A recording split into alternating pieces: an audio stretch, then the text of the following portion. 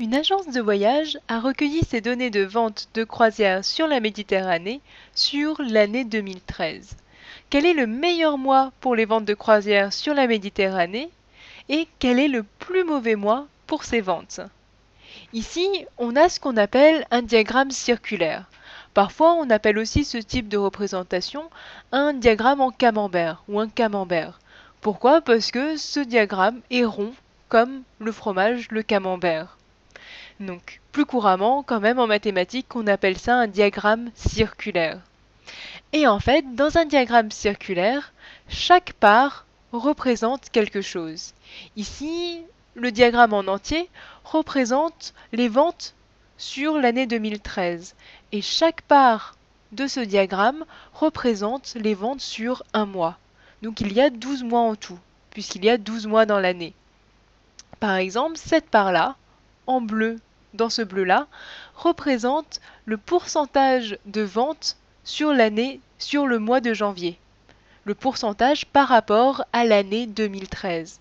Donc en fait, si tu prenais chacun des pourcentages ici, par exemple 18, 10, 7, etc., et que tu additionnais tous ces pourcentages, tu devrais trouver 100, puisque le total des ventes sur l'année 2013 représente 100% des ventes de l'année 2013.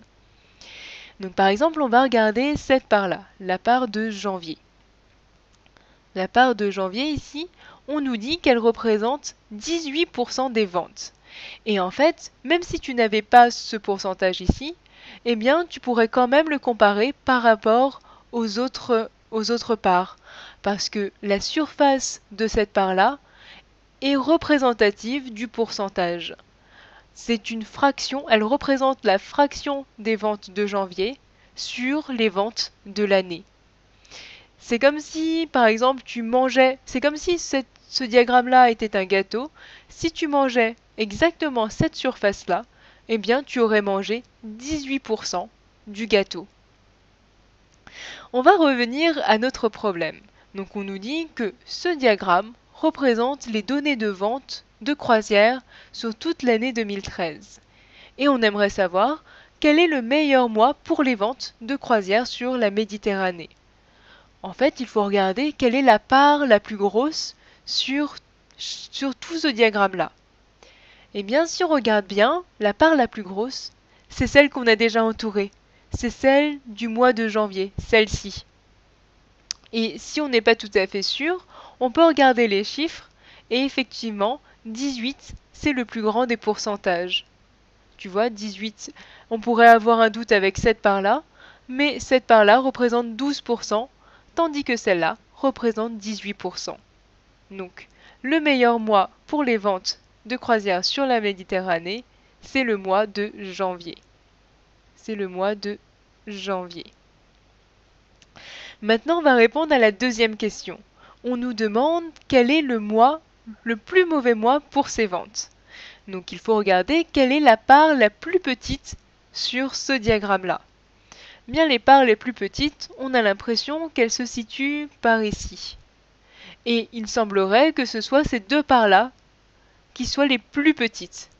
Et tu vois, c'est dans ces cas-là que ça peut être utile d'avoir les pourcentages en chiffres. Parce qu'autant ici on voyait que cette part-là c'était la plus grosse, autant ici pour être sûr que le mois de juillet et le mois de juin représentent bien les mêmes pourcentages, à l'œil nu, ce n'est pas si facile. Et donc ici, si on regarde les chiffres, on voit que juillet représente 3% des ventes et juin aussi. Donc ce sont les mois de juillet et de juin qui sont les plus mauvais pour les ventes. Juin et juillet. Si on nous avait demandé quel est le deuxième meilleur mois pour les ventes, qu'est-ce qu'on aurait dit? Eh on aurait cherché la deuxième part la plus grosse sur ce diagramme-là.